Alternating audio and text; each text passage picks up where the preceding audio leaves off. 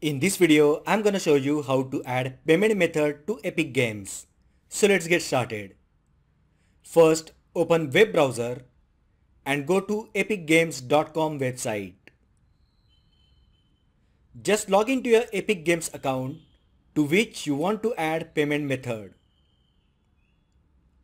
Once you logged in, hover over profile icon at the top right side.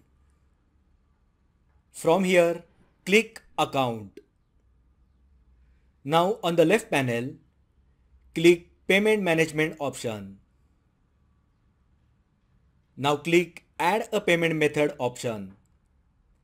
And you will get options like credit card, PayPal and some other based on your country of residence.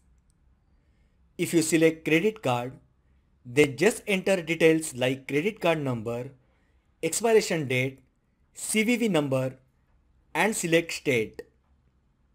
In case if you select PayPal, then you will be redirected to PayPal to authorize your payment method and then you will be returned to Epic Games to complete the purchase.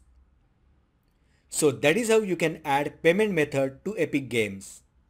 If you find the video helpful then like the video, share with your friends and subscribe to my channel.